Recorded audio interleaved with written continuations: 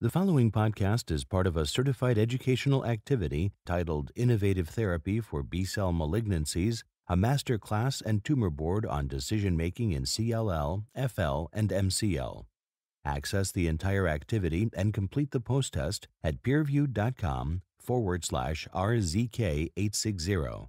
Downloadable slides and practice aids are also available.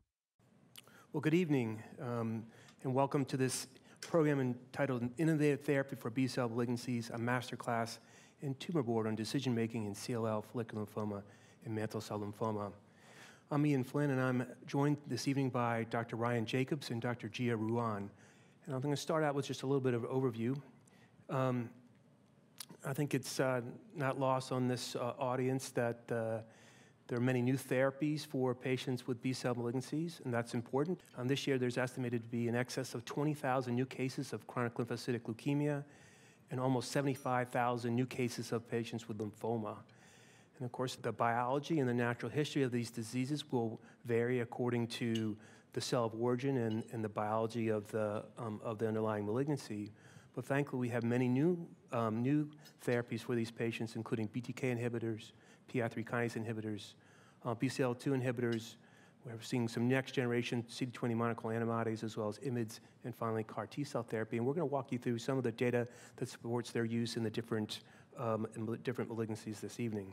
Some of the first new therapies um, for lymphoma and CLL came out about 2013. That, that was with the initial approvals of lenalidomide, idelalisib, and ibrutinib for mantle cell lymphoma and chronic lymphocytic leukemia. We've seen other approvals, such as um, venetoclax and acalabrutinib for CLL and mantle cell lymphoma.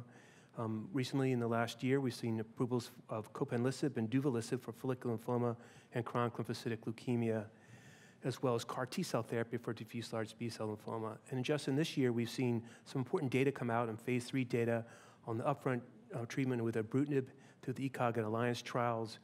And there's important phase three um, data with acalabrutinib and CLL. And we've had the approval of um, the R squared regimen um, from the AUGMENT trial in relapse and refractory follicular lymphoma. And finally, a very important combination therapy of venetoclax and obinutuzumab as frontline therapy for patients with, um, with CLL. And we're going to touch upon all these um, this evening. And with that, we're going to move on to, um, to follicular lymphoma and, and talk about chemo-sparing options as a path forward in follicular lymphoma. So let's start out with a case. This is uh, Michael. He's a man with, um, with uh, follicular lymphoma. He's diagnosed with symptomatic follicular lymphoma at age 62. He has a classic immunohistochemistry um, on um, pathology. He's symptomatic. He has B symptoms, and he has bulky lymphadenopathy with at least one tumor mass being greater than seven centimeters. So clearly, he um, makes the treatment re recommendation by the GELF criteria. Um, his, he and his physicians elect to treat him with R-CHOP, um, followed by two years of maintenance with, um, with rituximab. And he achieves a response and, and is, um, and is disease-free for a couple years, but uh, two years after ending maintenance therapy, he, um, he progresses. Now, um, R-CHOP was not easy on him. He did have a number of the predictable toxicities that you see with, with uh, chemotherapy, including neutropenia, febrile neutropenia, neuropathy, as well as alopecia. So now as we move on to thinking about what to do next with this patient, it's important to discuss with this patient, and, and certainly the, uh, Michael remembered the, the, his earlier experience with, uh, with uh, rituximab and, and CHOP. They included the neutropenia and febrile neutropenia as well as neuropathy. And so this colored his, uh, his thinking about what to do next, as well as his physicians. And based on the phase three augment trial, the R squared regimen is an option that addresses some of this patient's concerns about toxicity. And Michael goes on to achieve um, a response with R squared, and he remains in remission for more than two years. After three years, um, Michael shows clinical signs of relapse with progressive disease, um, which is con confirmed at a clinic visit. You know, at this point, there's a number of options for this patient. He could go on to receive perhaps more R chemo, um, or you could consider transitioning to another chemo 3 regimen. So in this case, um, the PI3 kinase inhibitors are one such option. There are now three approved um, therapies for this patient. They include idelalisib, which is an oral agent. More recently, duvelisib has been approved, another oral agent, and copanlisib, which is an IV PI3 kinase inhibitor. And this patient um, decides on duvelisib and is initiated at the standard doses of 25 milligrams twice a day. So a couple thoughts before we go on and talk about some of the data. Um, this patient could have received bendamustine and rituximab um, in more recent years after the BRIGHT trial as well as the STILL data. I think in the U.S., BR has become more one of the more common frontline options for patients with follicular lymphoma, although they have um, they both have their own toxicities, but somewhat different. And the other thing is this patient received rituximab maintenance. And of course, that was very common if you think back, if you just do the math, this was probably, what, eight or nine years ago this patient was receiving this treatment. Um, and, and, rituximab maintenance was very common in that era, and still used, but just a little bit less based on the, the lack of, well, certainly an improvement in progression-free survival, but a lack of overall survival seen with that approach. And I think one of the other important considerations in, for the physicians treating this, this patient is about sequencing these therapies. It's important to, to start think out up front how you're ultimately going to manage the sequence as almost all these patients will ultimately relapse at least once or twice. Let's go through some of the data moving beyond uh, immunochemotherapy and follicular lymphoma. One of the important treatment decisions for any of our patients with follicular lymphoma is you know, in, in deciding what therapy is, of course, there are comorbidities, the grade of disease. Is this grade one, two, or is this grade three? How aggressive is the disease behaving? And of course, the goals of treatment and patient preference. Individual items within the GELF criteria are also important in, in, um, in making uh, treatment decisions about which therapy to choose. This is the NCCN guidelines for the treatment of follicular lymphoma. On the left, you can see is the first line therapy, and there's many um, different options here. Chemoimmunotherapy also included is um, the R squared regimen, which is based on the relevance trial, as well as in some patients it's still appropriate to use single agent rituximab. Now, as I mentioned, it's becoming less common to use um, some of the maintenance therapy, but certainly the maintenance therapies are, um, are reasonable in, in, patients as well and include obinutuzumab as well as rituximab and less commonly um, radioimmunotherapy. Now, when we get beyond frontline therapy, there's a whole host of different um, treatment options. You could go to chemotherapy, perhaps one of the regimens you hadn't used is front, uh, in the frontline setting. You could use the R squared regimen, or, or you could use um, some of the, the PI3 kinase inhibitors as you get farther down the treatment, uh, treatment paradigm. So let's talk about um, the R squared regimen. This was recently FDA approved for patients with relapsed, um, relapsed follicular lymphoma. Um, that is based on the AUGMENT trial, which is a large randomized phase three trial that, that randomized patients to receive either the R squared regimen versus um, rituximab plus placebo. So eligible patients could not be refractory to rituximab in order to enter on this trial. They had all had to have at least one or more uh, chemotherapy um, regimens. So patients um, were entered onto this trial, and I think some of the details of these different R squared regimens are important because, as you'll see, pretty much whether you use it front line or whether you use it second line, these regimens vary from, um, from trial to trial. But in this case, um, the outline of the, of the regimens listed here, lenalidomide was given 20 milligrams on days 1 through 21 of a 28-day cycle along with rituximab. These are the progression-free survival curves. You can see clearly the R square was a winner in terms of progression-free survival with a um, median progression-free survival of almost 40 months compared to the 14 months was seen with, with rituximab. So clearly an improvement in progression-free survival. These are some of the key secondary endpoints, which were looking at overall response, uh, and complete remission rate. And again, R squared was superior to single agent rituximab in terms of complete remission and overall response rate. But what was not different was the um, was overall survival, and this is the overall survival curve. While there's certainly a trend towards improvement in R squared, um, at this point the um, the uh, confidence intervals included one in terms of the hazard ratio, and there was not a statistically significant difference seen there are differences in adverse events. And so um, this is an important consideration when, depending on what your patient, uh, some of the other comorbidities and how old your patient is and thinking about these different regimens. On the right, we see the treatment emergent adverse events for rituximab versus the R squared regimen. The darker colors represent the, the grade three and four events versus the lighter color, which is grade one or two. And you can see right off the top here that there's an increased risk of infections in patients treated with R squared. There's an increased risk of neutropenia in um, patients treated with R squared, as well as some of these cutaneous um, reactions. And then some of the ad adverse events is, are listed here as well, but they taper off. So a very important consideration to, um, when, when considering the, the, the R squared regimen in these patients with, um, with uh, follicular lymphoma. And I think has meaningful um, differences in terms of progression free survival, but also, of course, adverse events are more common in, in the R squared regimen and most commonly the, the neutropenia infectious complications. But this study did lead to the FDA approval in May of this year for this, for this regimen for patients relapsed or refractory um, follicular lymphoma. Now, R squared has also been, um, been studied in the upfront uh, line in patients with follicular lymphoma. This is one of the earlier studies. This is uh, Eva Kimby's publication. In, um, and again, the details here are a little bit different in terms of the R squared regimen. This is um, R squared at a lower dose of 15 milligrams um, per day, and it's, and it's given with, for a shorter duration of time uh, than what we'll see in, in the relevance trial that's coming up here. But R squared in this in the frontline setting also beat uh, rituximab as a single agent. Now, the relevance trial was a very large international phase three trial comparing R, the R squared regimen versus chemoimmunotherapy um, in previously untreated patients with advanced follicular lymphoma. And the details are listed here, and they're a little bit complicated, but if you think about it in different periods of time, patients were randomized receive either R squared or R chemo um, as the inductions. And in R chemo, the patients also went on to receive basically two years of rituximab maintenance. Now, in the R squared arm, after this initial six months of induction, these patients could continue on R squared. If they achieved a complete remission, then the dose was reduced um, to 10, 10, milligrams a day of, of lenalidomide um, but if they um, were just achieved a partial remission, then they were continued on the standard dose of 20. And finally, once the R square was um, completed, they finished out with uh, single agent rituximab and a maintenance uh, type approach. This lists the responses for the patients. So the co-primary endpoint was complete remission or CRU at 120 weeks, and there was a, perhaps a, uh, a slight numerical superiority on, on to the R chemo, but no um, statistically significant uh, difference.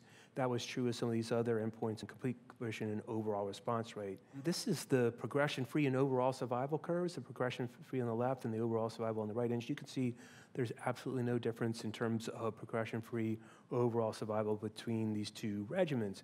And so while this trial was, a, was designed as a superiority trial and clearly did not meet uh, that, uh, that endpoint, uh, many interpret this to say that this is a reasonable option for patients with um, previously untreated follicular lymphoma um, in, if, if your patient wants to avoid um, a chemotherapy regimen.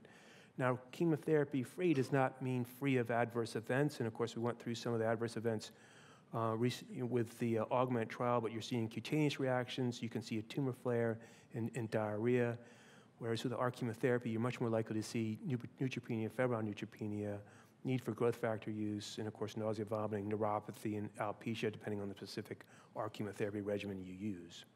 Now, some practical tips about lenalidomide. I mean, I think some of these are obvious for anybody who's ever used um, an IMID, such as the exclusion for pregnancy. Um, I think less um, recognized but important is that there's hematologic toxicities, and you have to monitor patients' counts. And finally, venous and arterial thromboembolism is an associated side effect, and so um, it's generally recommended that patient receive some form of antithrombotic prophylaxis.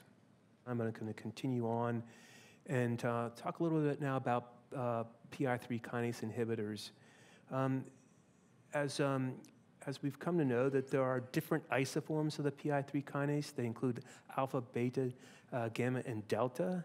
Um, idelalisib was the first PI3 kinase inhibitor uh, improved, and it was a delta isoform specific.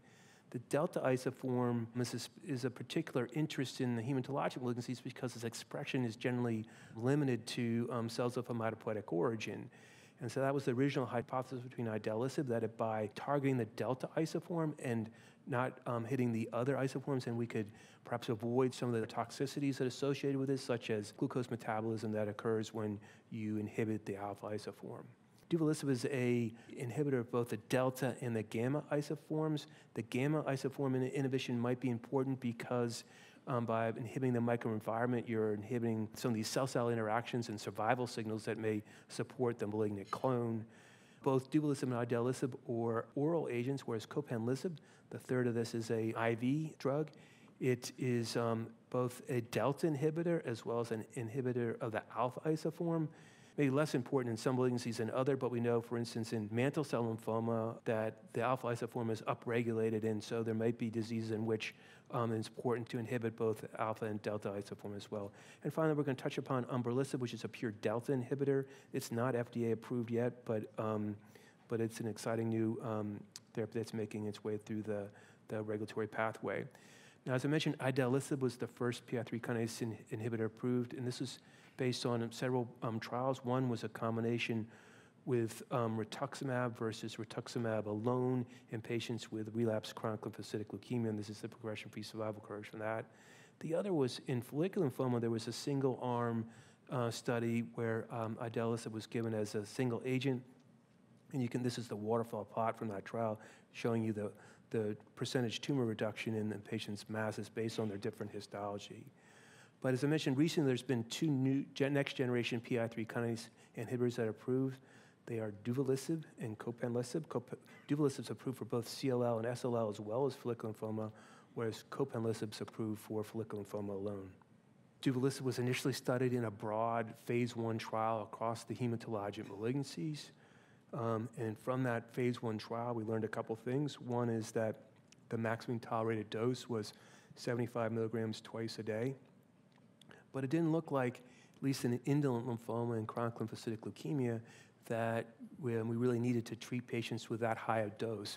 In fact, there was really equal efficacy, maybe um, in, in a lower dose of 25 milligrams twice a day.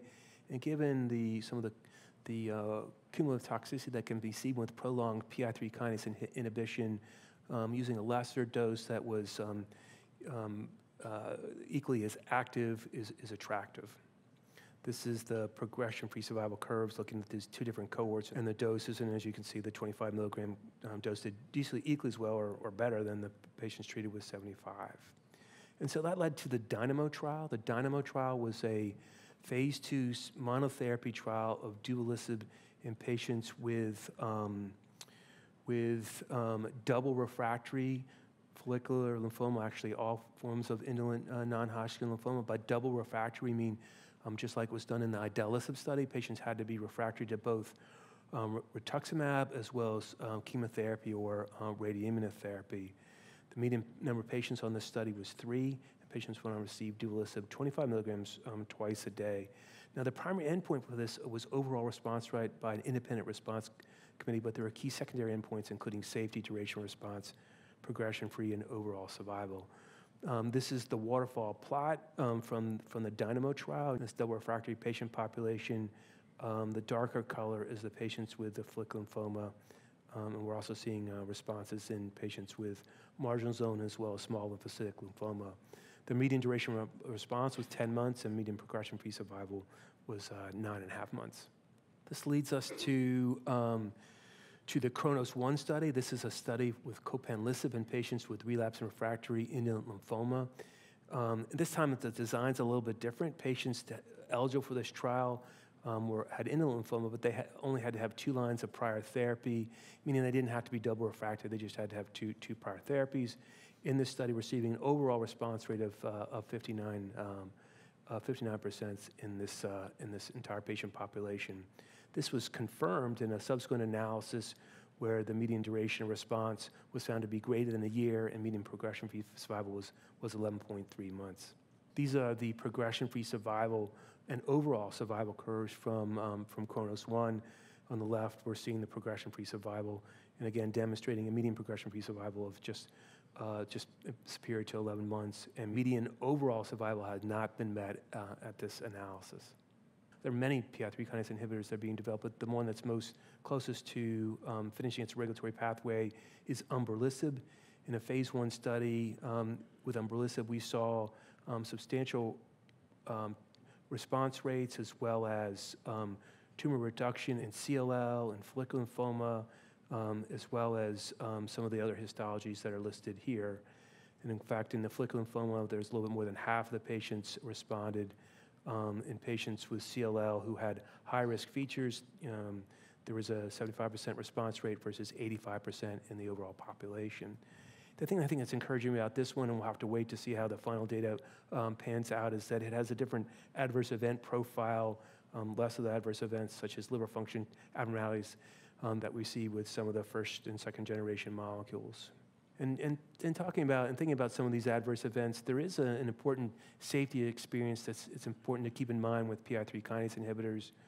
Of course, you may recall with idelalisib, there's the, some of the hepatotoxicity that's seen, as well as some of the uh, GI events such as uh, diarrhea and colitis, as well as pneumonitis that can be seen very rarely. Less of a occurrence with duvelisib, but there still occurs. Now, the good thing is that for most of these patients, especially those patients who have liver function abnormalities, if you hold the drug and wait for the abnormalities to resolve, you can restart patients on these uh, molecules.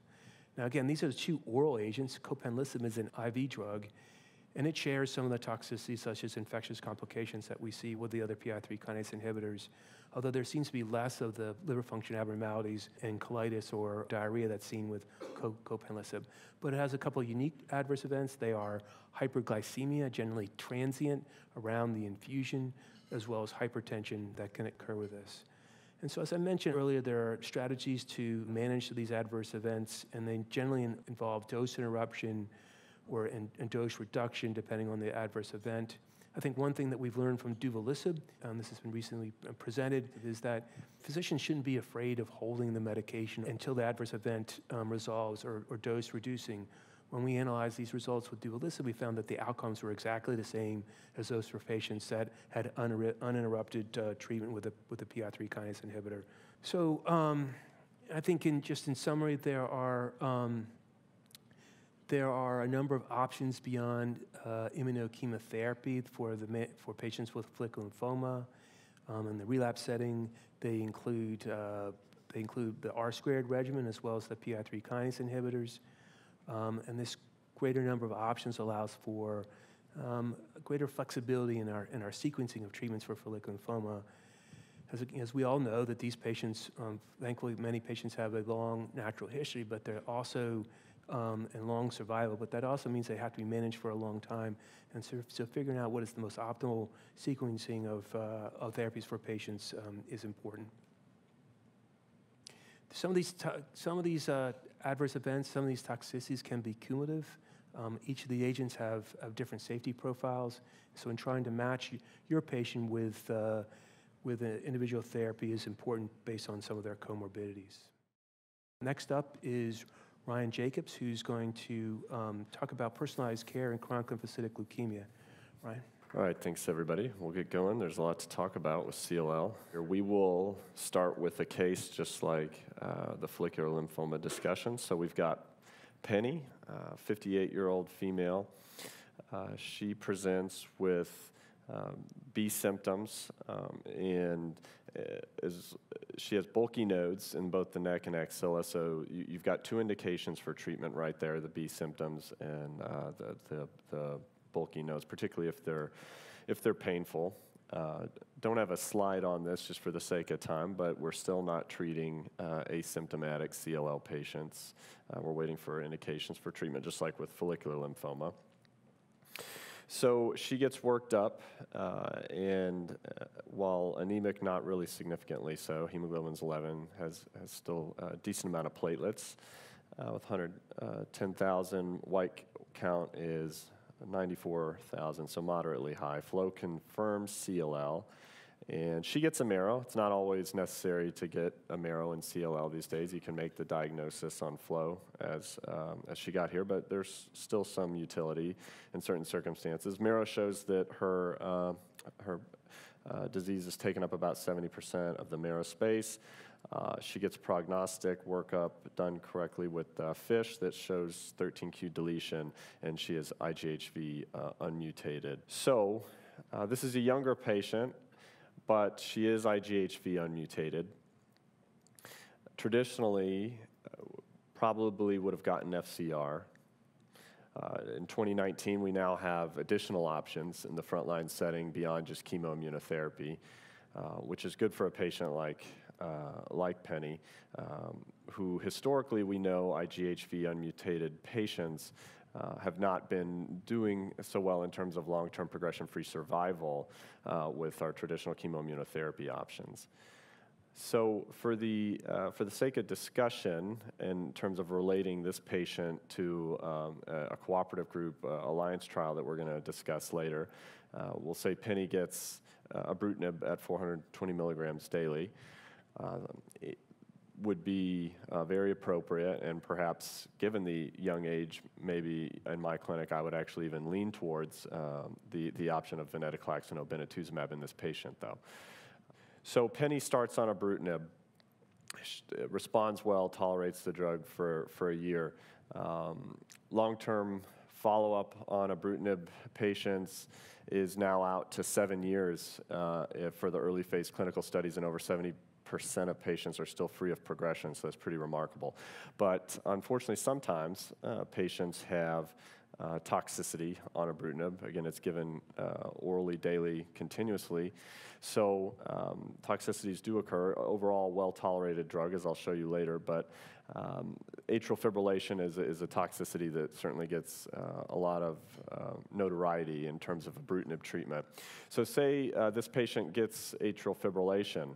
Uh, we now luckily have an alternative BTK inhibitor option in acalabrutinib, which, uh, while we're still awaiting on head-to-head data that I'll show you later, um, uh, there is some hope that this agent uh, does not have the same cardiac uh, comorbidities that, that ibrutinib does. So for a patient that's responding to BTK inhibition that um, has to come off treatment due to toxicity, we now have an off-label option with acalabrutinib. Uh, although it's not currently FDA approved for the treatment of CLL, it is uh, approved for mantle cell lymphoma, uh, but it does get a lot of off-label use in CLL. It has breakthrough designation by the FDA uh, recently for, for the treatment of uh, CLL, and as I'll show you later, it's on the NCCN guidelines.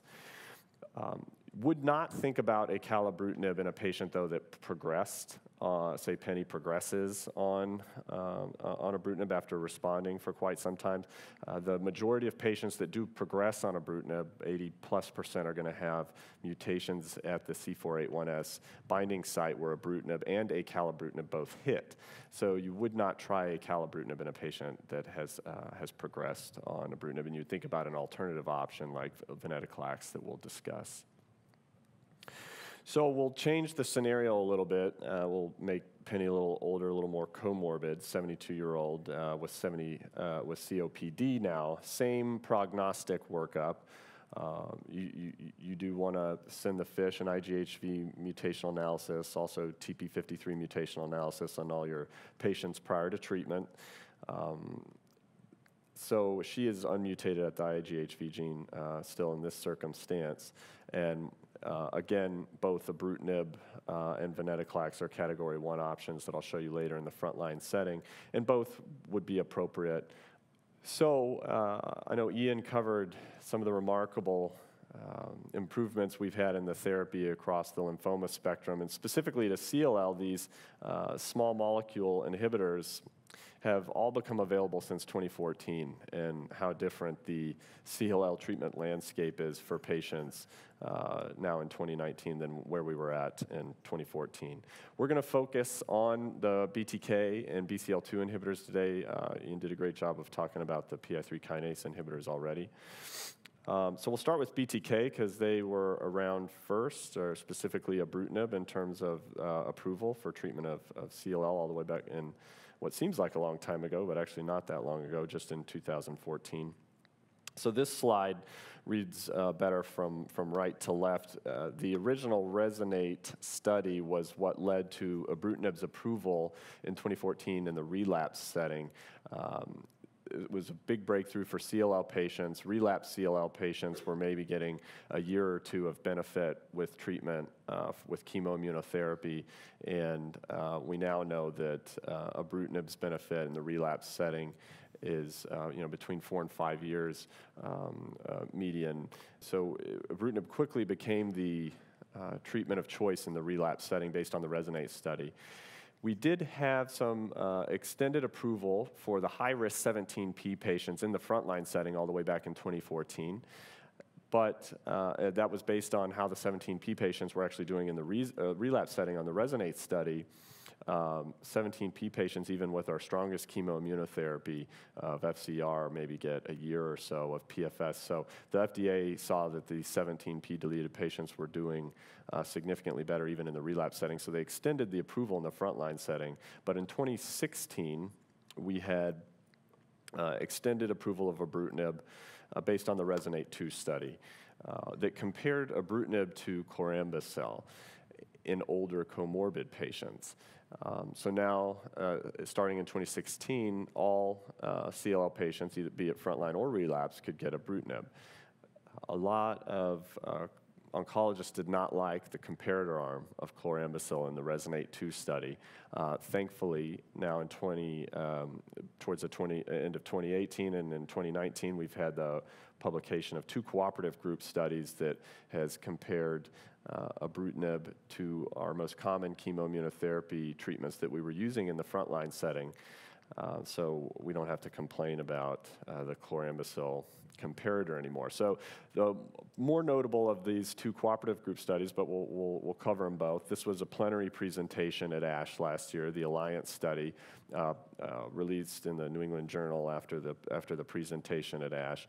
And it looked at patients over the age of 65. So these are the patients that you wouldn't be thinking about giving FCR to because of their, um, their older age. We know FCR is more, um, has more, uh, more morbidity in, in patients over the age of 65.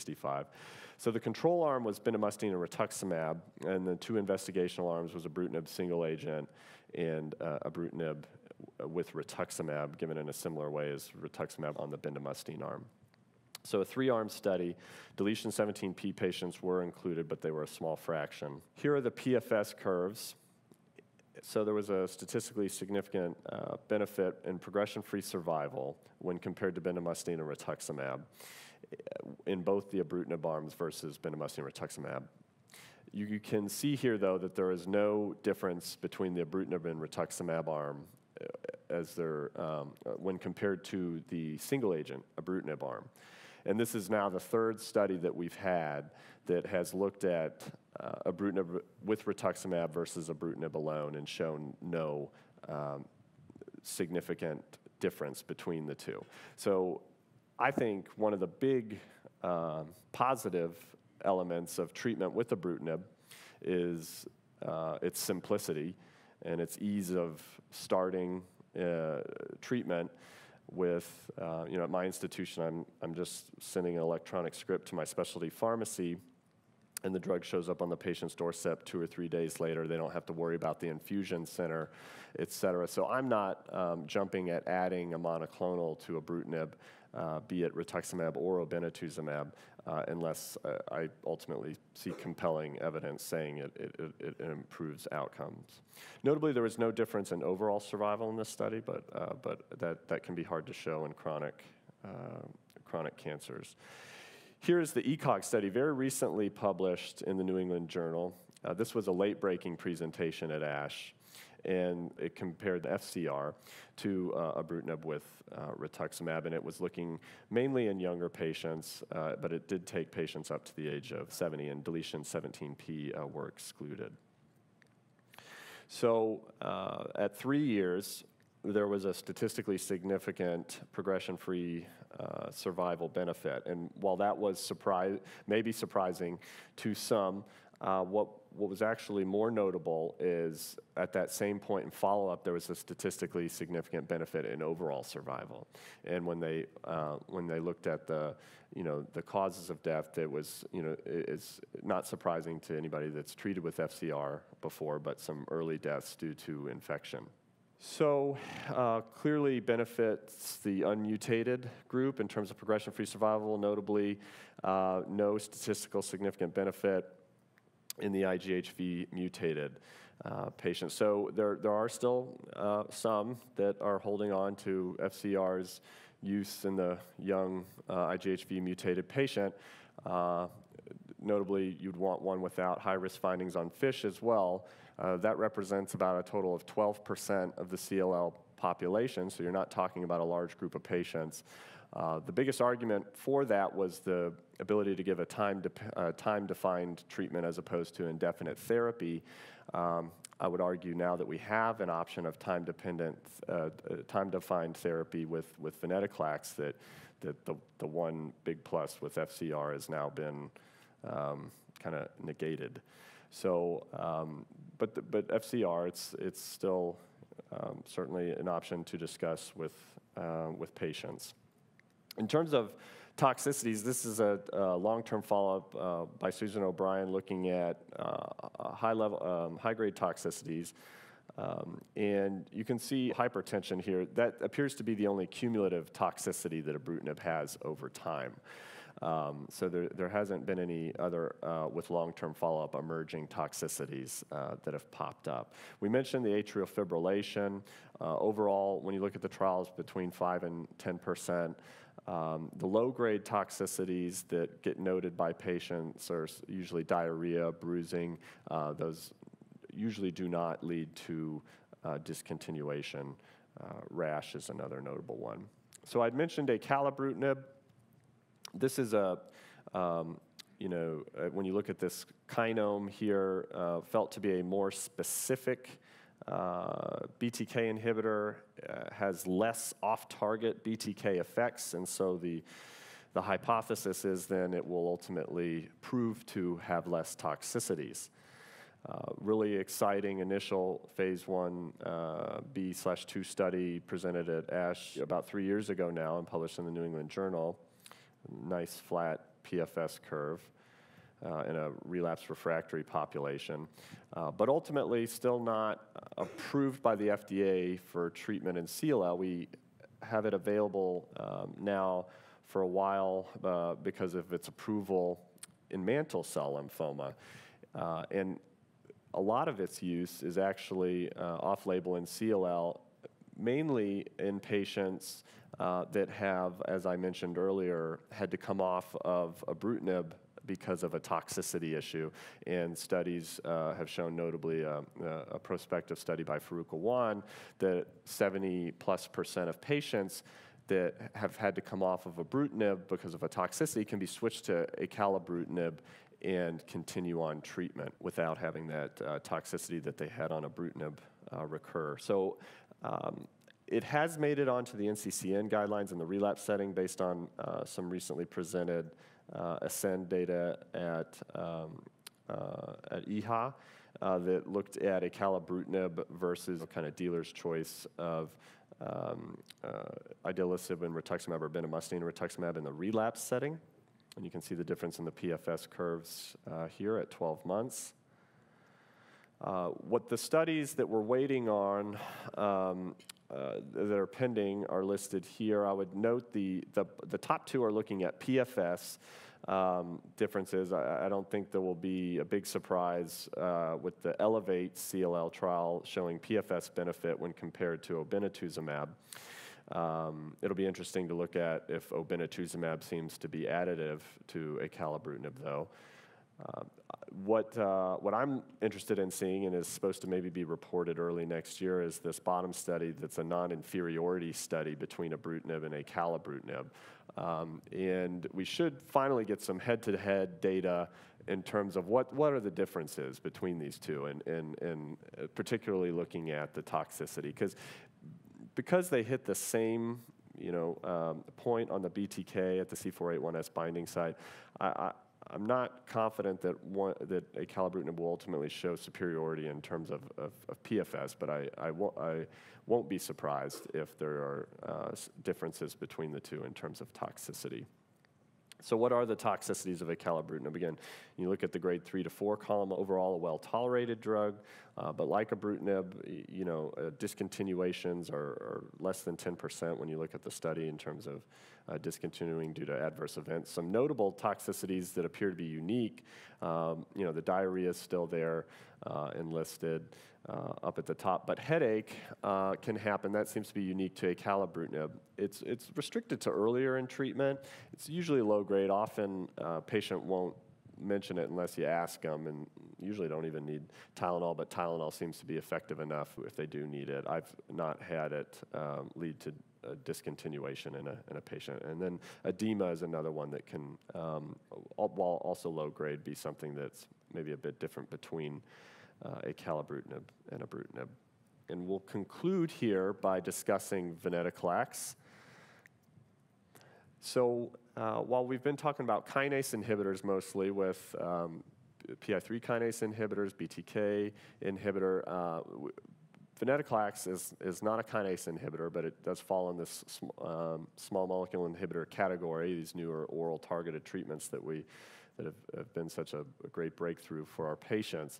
Uh, so the BCL2 protein uh, has been found to be overexpressed in CLL, uh, but uh, also, uh, as opposed to BTK, which is more unique to B cell malignancies, uh, BCL2 is, is not restricted to, um, to, to, CLL.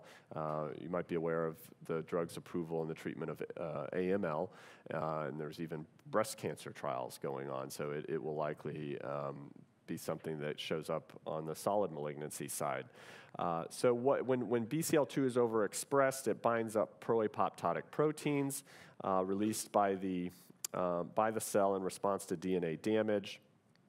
So uh, then, therefore, the cell's more resistant to, to apoptosis. So you throw in venetoclax, and rather abruptly, those pre-apoptotic proteins are released and lead to mitochondrial uh, membrane permeabilization. Caspases get released into the cell, and the cell apoptoses through uh, breaking up its outer cell membrane. So its abrupt uh, activity is in contrast to BTK inhibition, which uh, can take a median of four months before you see, you know, kind of the what you would mark as an official response in terms of 50% um, uh, uh, disease burden reduction um, and leads to the tumor lysis syndrome issues that, that, that I'll discuss uh, later in the deck. So, here, uh, we're not going to discuss uh, the uh, initial trial that led to the drug's approval, uh, which was single agent use back in 2016 for high risk CLL patients defined as having a, a,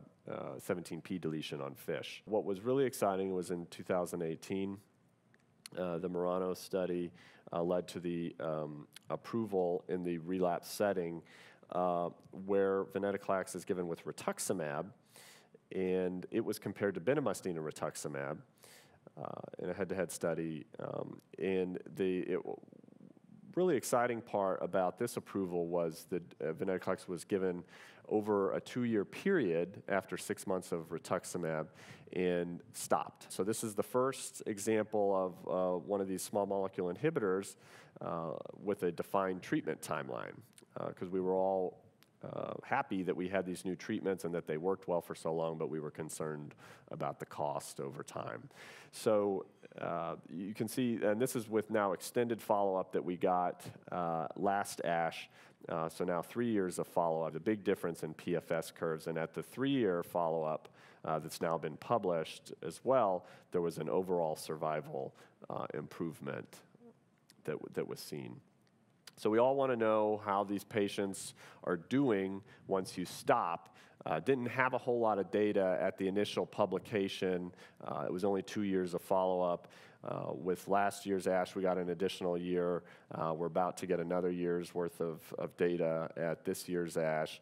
Um, so the short of it is the patients that obtain minimal residual disease negativity are doing quite well and not relapsing after they stop. And even the patients, uh, and that's in this black line at the top here, that get near uh, MRD negative, so 10 to the minus 2 uh, or, or worse, uh, are, are, seem to be doing uh, quite well. And for, for those of you that um, aren't necessarily familiar with MRD testing, not part of standard clinical practice guidelines yet in CLL, um, probably still a send out at most institutions. Uh, it's, it can be done with flow cytometry or PCR, and it's where we're looking at one cancer cell uh, in 10,000. Um, the, uh, the rate of MRD negativity in the relapse setting with venetoclax was um, around uh, 57%, uh, which is co comparable to what FCR was doing uh, in the frontline setting. So you have this chemo-free option that in the relapse setting was getting a depth of response equal to that of our strongest chemoimmunotherapy combination, um, and it was really exciting. But uh, more recently, uh, we now have this combination of obinutuzumab with venetoclax, and venetoclax given over a year uh, and just approved uh, in May of this year for frontline treatment of CLL. So for, for everyone that was really concerned about the implications of all these patients on indefinite uh, ibrutinib, we now have a time-defined treatment option, um, recently published in the New England Journal and leading to um, to approval. This was a study that, because of its comparative of obinutuzumab and chlorambucil, uh, was looking at older patients that you wouldn't give chemoimmunotherapy to, but the, um, because of the impressive PFS curve, the FDA approved it for, um, for all frontline CLL patients. And here is the MRD negativity rates that was exciting 76% in the peripheral blood, so better than we've been, had been able to do with, with chemoimmunotherapy. Um, when you looked in the marrow, while numerically less, the, uh, you know, they found really with venetoclax-based treatments that the peripheral blood MR, MRD testing correlates to about 92% degree with the with the bone marrow. So you can you can you know in, in clinical practice save a, an invasive procedure and just test the peripheral blood and be pretty confident in it. In terms of toxicities of venetoclax, the TLS on the right is uh, what most think about, but since the five week dose ramp up and appropriate risk stratification has been in place, uh, there's actually been no cases of clinically a significant tumor lysis syndrome on any prospective venetoclax trials. So it's quite safe if you follow the, the package insert instructions in terms of the ramp up. What you actually will deal with uh, is, is neutropenia. In the Murano study specifically, three quarters of patients ended up having to hold treatment at some point, and the large majority of those patients were um, having to hold because of uh, neutropenia. Uh, but diarrhea can be something you deal with. Um, joint pain's another one and because of the neutropenia issues, you want to watch out for infection. Uh, just like with ibrutinib, with acalabrutinib, you can use growth factor and not interrupt treatment, and, and I, I often do that. Um, it's a bit different from IV chemotherapy in that way. So here's the uh, NCCN uh, updates, and it's basically the, the BTK versus BCL2 options in the, both the frontline and the relapse setting as being the category one indications. Everything else has been moved to uh, category two uh, or, or, or less. And, and as I mentioned early in the talk, we don't really have data to support one option over the, over the other in terms of uh, BTK versus BCL2 inhibition. So in conclusion, um, it's, it's, it's a really um, great time for, for our CLL patients in terms of treatment options. Uh, BCL2 uh, is, is, is an option that we're excited about in terms of time-defined treatment. Uh, but when it, it, may take a long time, but it's, gonna, it, it's possible that perhaps in terms of long-term outcomes, uh, a disease modulating agent uh, targeting BTK given indefinitely ends up being ultimately the best approach. We, we just don't know at this point. And there's advantages and disadvantages uh, to both. Um, we'll have some uh, exciting data on looking at these two agents uh, given together at, at ASH this, this year, that, um, a trial that both uh, Ian and myself participated in. Next up is Dr. Jia Ruan, who's going to talk about mantle cell lymphoma and ins insights on treatment choices. Hi, good evening. Um, I'm pleased to be here today and discuss about uh, treatment for mantle cell lymphoma with a focus on uh, management of relapse refractory disease. Okay, so we're going to start with a, a, case study as well. Um, here we have uh, Greg, a 63-year-old man who presented with uh, painless uh, left cervical mass, which only presented for about two, three months. Uh, duration on physical exam, they were palpable left cervical mass and scattered other lymphadenopathy uh, fairly diffusely. Uh, laboratory study basically was somewhat unremarkable with the exception of elevated LDH. Um, and PET scan basically showed quite diffuse hypermetabolism above and below diaphragm. Um, there were also some hypermetabolic splenomegaly. The pathology came back, uh, which confirmed that you know he has uh, MCL, which uh, was SOX11 positive. Uh, the Ki67 was about 10%. However, there were focal higher proliferation index at 40%. The FISH study came back, uh, again, confirmed MCL diagnosis because translocation 1114. Interestingly, there were three copies of TP53 mutation, which sometimes comes with higher risk uh, for disease progression and uh, treatment resistance. Bone marrow biopsy showed involvement as well. Greg was uh, quite anxious. You know, certainly um, other than lymphadenopathy, um, you know, he wasn't having too much of constitutional symptom. However, he was traveling back and forth, and uh, you know, not feeling. Um, settled without treatment. So, in discussion with his primary care physician, um, he opted for induction chemotherapy uh, in the outpatient setting. Uh, so, he received six cycles of, of bendamustine plus rituximab, which he tolerated very well and achieved a very good uh, partial remission. Subsequent to that, because of business, he traveled overseas and failed to show up for follow ups. Uh, less than a year later, uh, came back with a very uh, symptomatic enlarging left side cervical lymphadenopathy again. Um, very promptly, lymph node biopsy was obtained. This time, they were complete effacement and appear to have increased size uh, of the B cell here, so small to medium size. Uh, they were SOX11 positive and TP53 quite positive. And Ki67 was increased to 50%. So the morphology here uh, was more consistent with pleomorphic, if it not um, blastoid mantle cell lymphoma, more aggressive than prior. Um, PET CT scan showed diffuse hypermetabolism again, um, and this time patient was quite symptomatic. Um, so here we have the question of further management in a patient with relapsed uh, mantle cell lymphoma.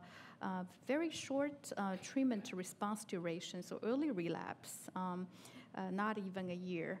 Uh, what do we, um, you know, contemplate in terms of providing uh, treatment? Do we re-challenge with chemoimmunotherapy, um, or do we consider um, more for novel agent class? So, so there are data which suggest that early relapse disease tend to have more aggressive uh, clinical behavior and resistant to treatment, particularly chemotherapy. So again, you know, chemoimmunotherapy is available, but it's unlikely to work very well.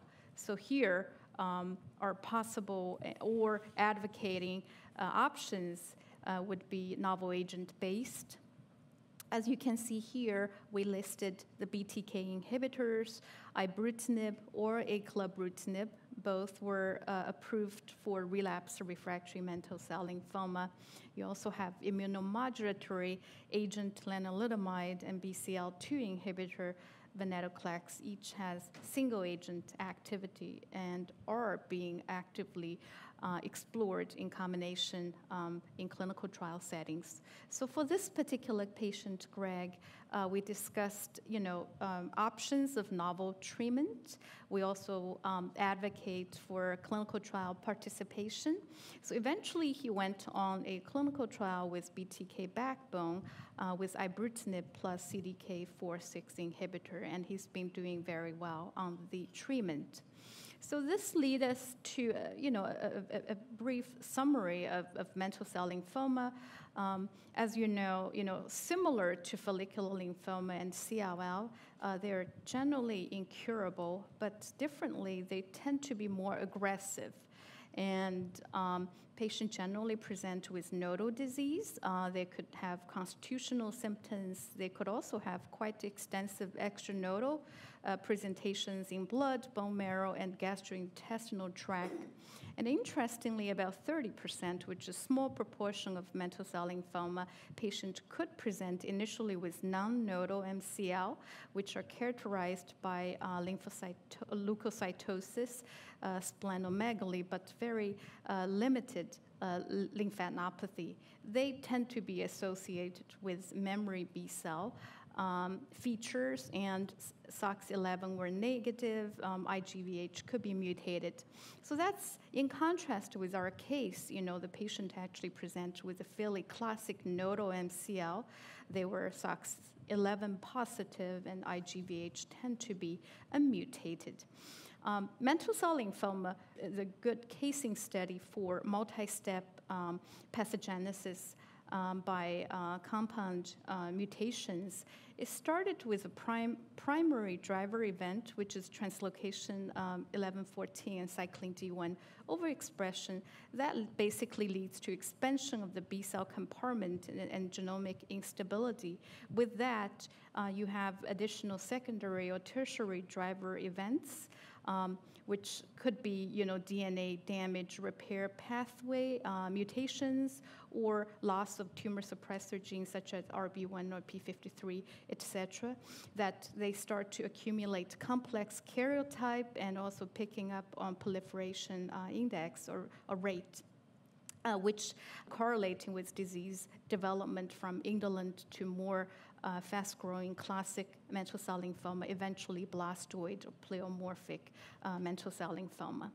So to date, the backbone treatment for mantle cell lymphoma initially continued to be uh, chemoimmunotherapy that's based on two decades of uh, data coming from phase two primarily, some phase three data, as well as population studies uh, for lack of other discriminators because of the side effects of cytotoxic treatment. Um, uh, comorbidities such as age um, and, and, other factors uh, do differentiate when you discuss uh, initial treatment options for patients who are candidate for high uh, intensity treatment.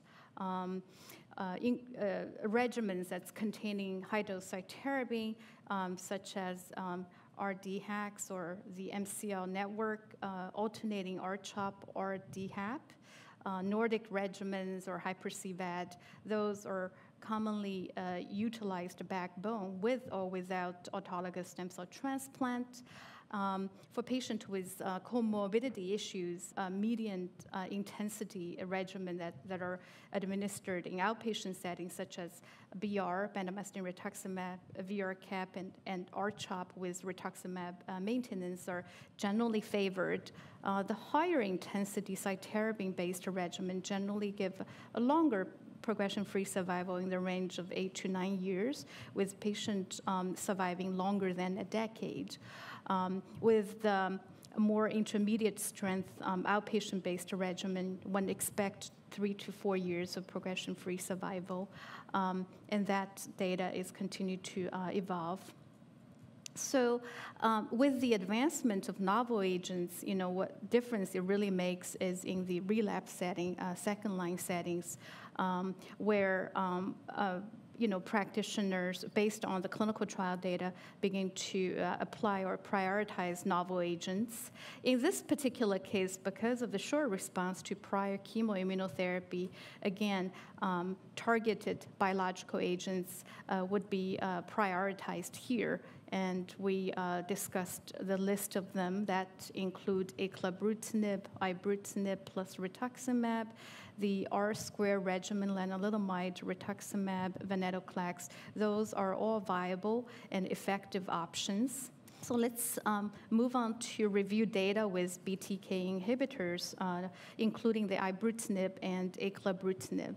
Um, so um, as was uh, well summarized in the earlier talk, um, I'll be very brief here. For mantle cell lymphoma, ibrutinib was approved uh, for relapse disease in 2013, and this was followed by acalabrutinib, which was approved in 2017.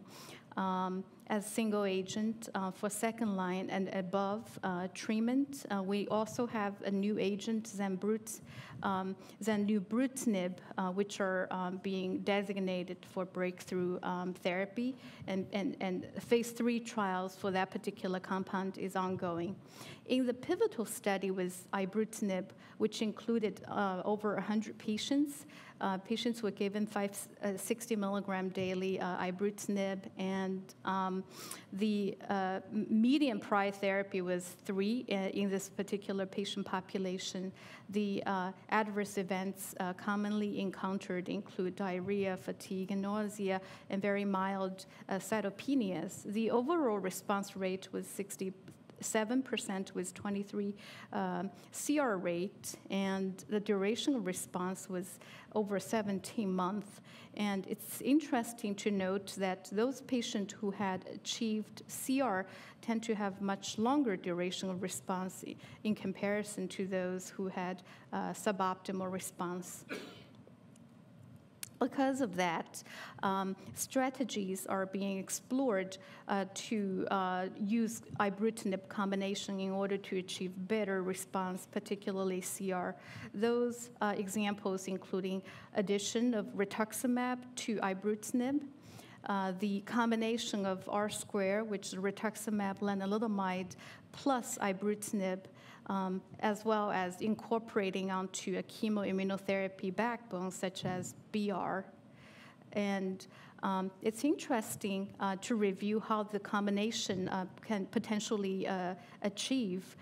So here we have the uh, the, the, the um, outcome of the AIM study, which uh, essentially evaluated the combination of BCL2 inhibitor addition venetoclax to ibrutinib in patients with uh, relapsed refractory mantle cell lymphoma. In this uh, small data sets, which included 24 patients, uh, one of them actually had treatment naive disease, and majority of the patient had high risk disease, including TP53 mutation and complex cytogenetics. Um, the CR was achieved in 42% patient, and um, and um, you know, if you evaluate with PET, that uh, CR actually was higher at 62 percent uh, which was significantly improved from uh, historical control with single agent, and particularly in those high-risk MCL population. And moreover, I think this study also showcased the MRD assessment, uh, which essentially delineate the depth of the response.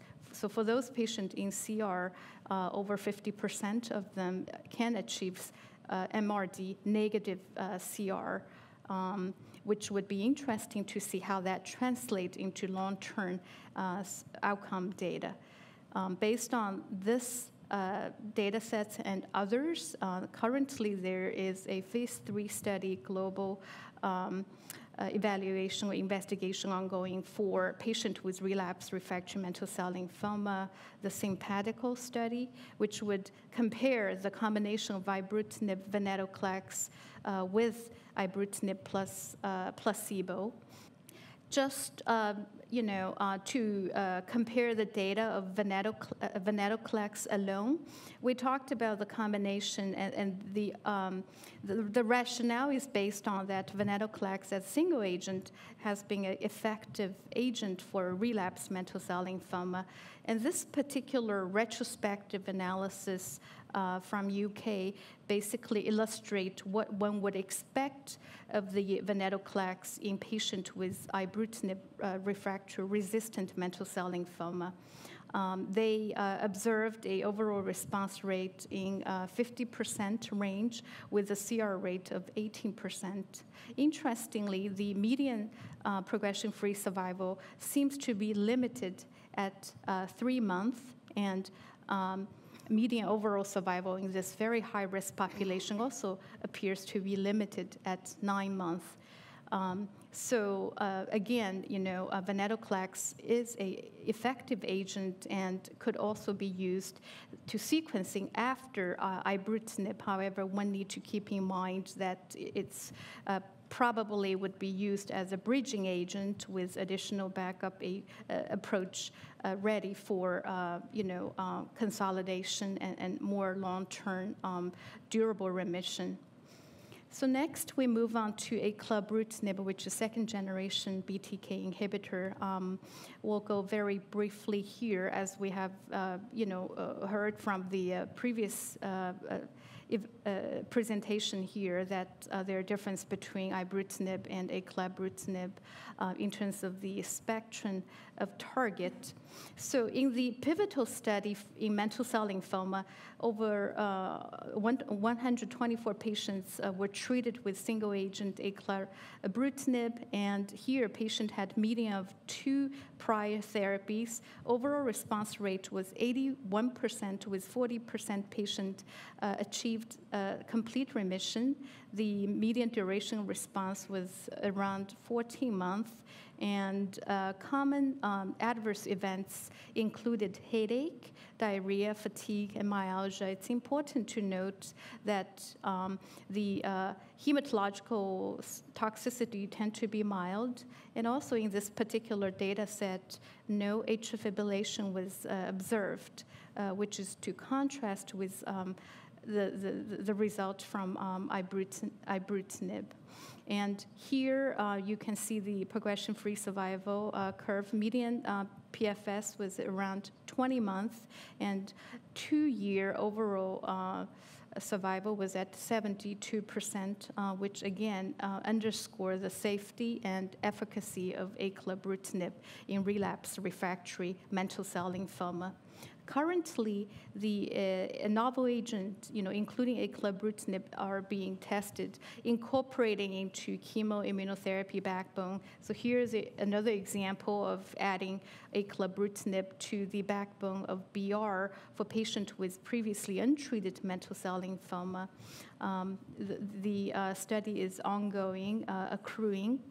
Um, it's important to notice and compare the um, management of various BTK inhibitors. As shown here, clinically, one need to watch out for uh, lymphocytosis, especially at the beginning of treatment, which reflect a compartment shift, uh, which is a therapeutic effect of BTK inhibitor.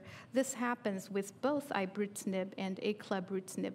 There's similarity in terms of side effects, including uh, bleeding, bruising risk, generally mild, um, infection risk, uh, mild cytopenias. There's also some uh, difference in terms of side effects, as mentioned earlier, such as um, uh, incidence and severity of atrial fibrillation. Again, uh, this certainly would uh, you know tailor to different patient population and provide uh, treatment options based on their comorbidities. So the take-home message here is that um, BTK inhibitor represent the most uh, effective single-agent, non-chemotherapy-based for treatment of mantle cell lymphoma. Introduction of them into clinical practice certainly made a huge difference in terms of how we care for patient in the outpatient setting. Uh, we need to be mindful of different uh, side effects profiles and um, weighing patients' characteristic and try to match with a better uh, uh, treatment option. So uh, very quickly, we move on to do um, a analysis of immunomodulatory compound, um, lenalidomide. As you all know very well, um, single-agent lenalidomide have mo- moderate uh, efficacy in relapse mantle cell lymphoma in the range of overall uh, response rate uh, 28 to 30 percent. When you add rituximab um, in addition uh, for R square treatment in the relapse refractory setting, the overall response rate improved to 57 percent. Um, and with a better CR rate and uh, median uh, duration responses. In the SPRINT study, which is a randomized uh, study comparing lenalidomide with investigators' choice, the similar uh, efficacy was observed, uh, favoring lenalidomide over uh, other choices. The um, combination of lenalidomide and rituximab was also studied in the frontline setting, both as induction and maintenance. Basically, lenalidomide was given three weeks on, one week off, with rituximab given once weekly for the first month and subsequently every two cycles until progression of disease. The lenalidomide started uh, induction at higher dose of 20 milligram and reduced to 15 milligram during maintenance uh, phase, and patient with reduced renal function would start at lower dose. This study uh, showed high, higher uh, high efficacy, including um, overall response rate in the range of 90% and CR rate about 60%. The long-term data uh, was uh, recently uh, summarized, uh, which showed that um, you know progression-free survival at three years was around 80%, and in five years, about two-thirds of patients remain to be in clinical remission. Um, as of now, we're entering about nine years for this particular trial, and about 50%, so the majority of the patients uh, continue to derive treatment benefit. Um, and staying CR. Interestingly, when we were uh, doing the MRD analysis with a very um, high uh, sensitivity um, uh, method, the, the clonoSEQ, which uh, detect MRD transcript one in a million, that um, you know eight out of 10 patients, so, so about 80% patient can actually achieve MRD negative CR, and which probably explains you know their durable response. Basically, um, high quality CR is uh, important to achieve long-term remission. Certainly, there are other ways of go- getting there uh, than uh, R-square regimen, and those are being experimented in clinical trial. So to summarize, the uh, you know, because it's outpatient continuous therapy, dosing and safety remains very important consideration of using lenalidomide. Uh, one need to be mindful of thromboprophylaxis and also uh, dosing modifications based on um, hematological and non-hematological parameters. Patient education would be very important for treatment compliance as well. So um, finally, uh, we will be, uh, we uh, want to talk about the CAR T therapy, which certainly is a brand new modality uh, treatment for uh, lymphoma and, and particularly for mantle cell lymphoma. So as you all know, um, the CAR T cell essentially is a, a living um, agent, uh, cellular therapy, uh, with uh, T cells that are transduced with genetically modified construct, the chimeric antigen receptor. It started by uh, collecting uh, T cells from patients with leukapheresis and subsequently um, engineer the chimeric re- uh, antigen receptors and ex vivo expansion, and finally uh, infuse back to the patient after cytoreductive conditioning regimen. The process takes about uh, three, four weeks. Um, and currently, you know, there are two uh, products that, that are FDA approved in, on the market for indication of relapse refractory diffuse large B-cell lymphoma, the Axi-cel and the Tisi-cel, and with the liso-cel in the process of going through regulatory reviews. Um, it certainly has tremendous potential, as we have witnessed with patient relapsed uh, refractory diffuse large B-cell lymphoma. It certainly comes with, um, you know, it, its own toxicity, which are very unique. The cytokine release syndromes, the neurological toxicities, which require very intensive monitoring and supportive care. Um, the uh, preliminary data in mantle cell lymphoma appears to be very promising, although in very early stage. Uh, shown here are uh, small data sets coming from the Transcend non-Hodgkin lymphoma 001 study, where um, 17 patients uh, received the liso-cel um, CAR T cell product at two dosing level. Collectively, um, treatment achieved 71% overall response rate with 53 uh, CR rate, which is quite remarkable in this cohort of patients with very high risk disease. Many of them are refractory to um, uh, BTK inhibitors. Again, it's a very short follow up and, and um, requiring a longer um, uh, follow up as well as a larger study and perhaps a more dedicated MCL specific study. Um, one such study is the Zuma 2 uh, study, which is ongoing, and it utilized the Kite X19 product um, for patients with relapsed refractory mantle cell lymphoma. Majority of them are high risk uh, refractory to previous treatment, including transplant and BTK inhibitor. And uh, we're awaiting the uh, outcome of the study efficacy data um, with anticipation, and, um, and hopefully those data would become available um, for evaluation and discussion very soon. To summarize, you know, um, major advance has uh, certainly taken place for patients with mantle cell lymphoma, and the advancement of novel agents uh, led by the BTK inhibitors, including ibrutinib, acalabrutinib, uh, with others such as BCL2 inhibitor and R square regimen, certainly uh, made significant uh, contribution to bring very effective outpatient-based, generally well-tolerated regimen to all patients with mantle cell lymphoma. However, um, mantle cell lymphoma remains incurable, uh, which represents challenges, but as well as opportunities. Um, there are numerous clinical trials are ongoing, which uh, evaluate personalized combination treatment uh, with novel agents. And um, for, for those combinations which have high efficacy uh, outcome, uh, the, that also present opportunities to uh, consider uh, response-adapted treatment, such as um, you know a fixed duration treatment or um, you know intensity adjustment based on uh, response. In doing so, one would uh, try to minimize side effects associated with treatment. In the meantime, continue to deliver high efficacy and preserve quality of life for patients with mantle cell lymphoma.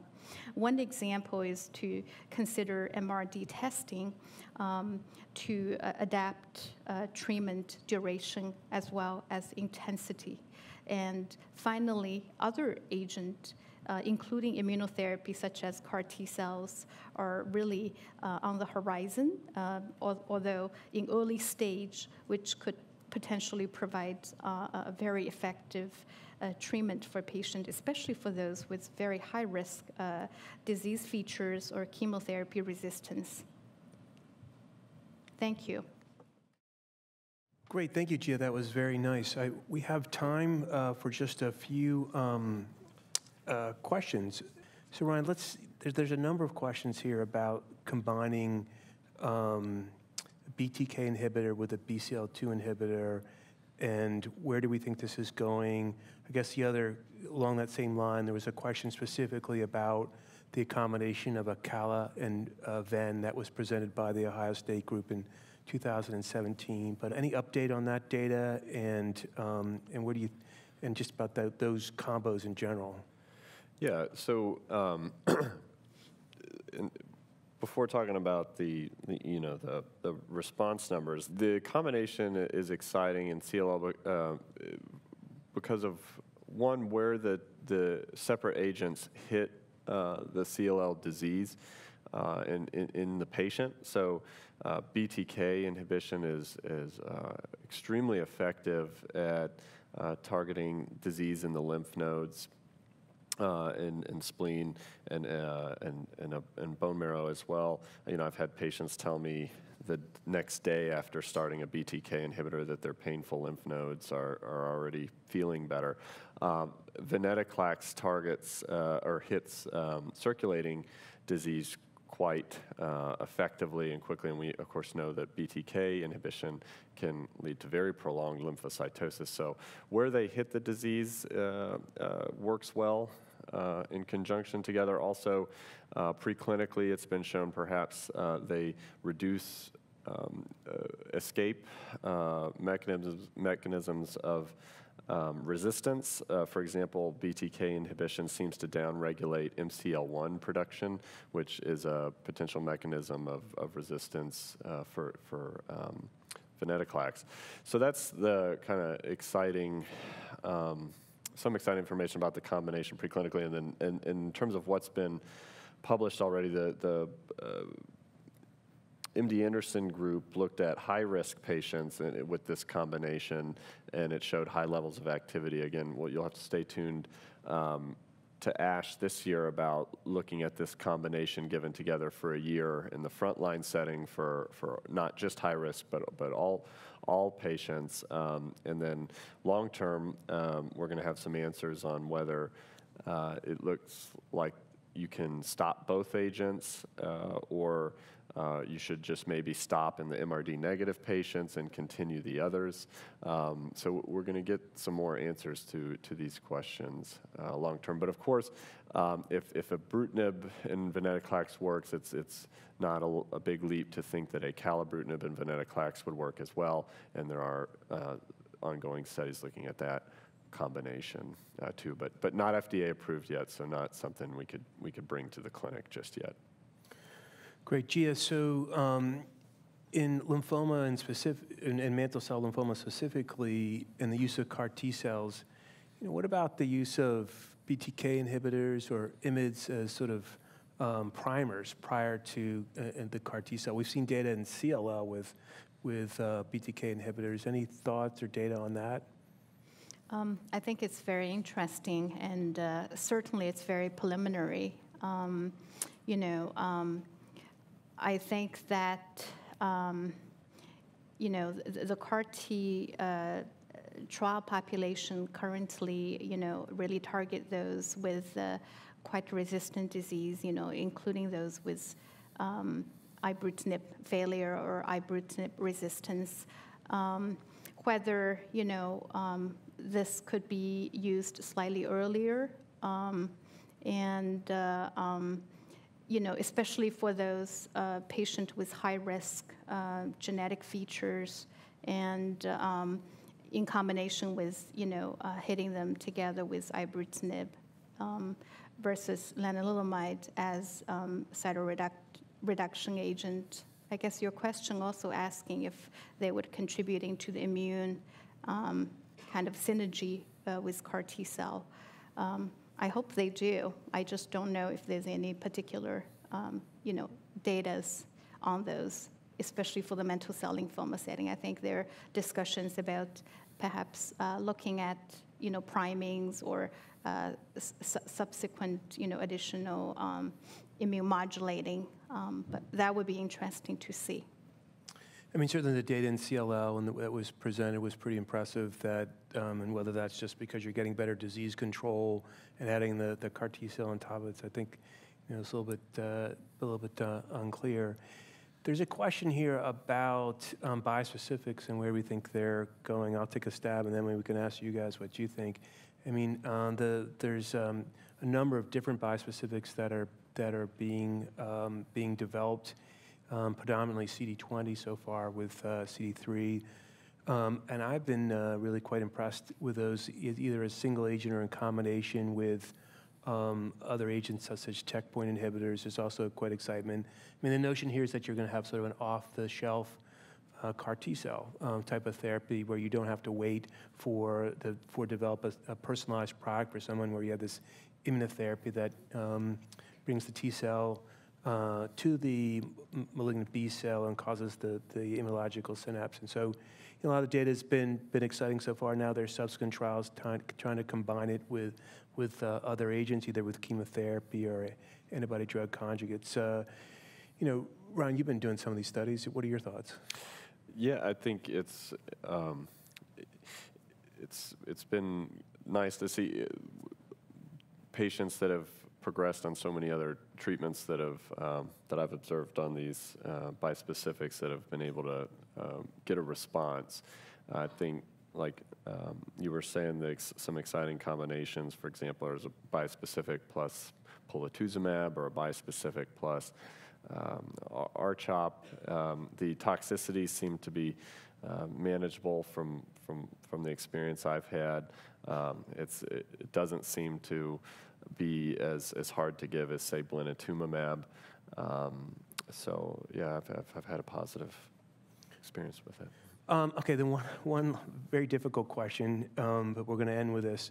And um, so, what about dose in- intensity with ibrutinib, since most of the side effects are, are dose related? I'm going to ask both of you because maybe it's different in mantle cell lymphoma than, than CLL. Interesting publication from MD Anderson, small number of patients, but it would suggest that the higher dose level is needed up front uh, to really um, hit the disease um, when it's uh, prior to any you get any cytoreduction and to uh, have best effect, but then quickly thereafter. Um, they feel that it's possible that you could reduce down uh, to, to 140 uh, for long-term treatment, and perhaps with that, still maintain long-term disease control and reduce toxicities at the lower dose. And, and there are um, long-term follow-up studies that have looked at patients that have had to reduce dose due to toxicities, and they've been able to maintain disease control.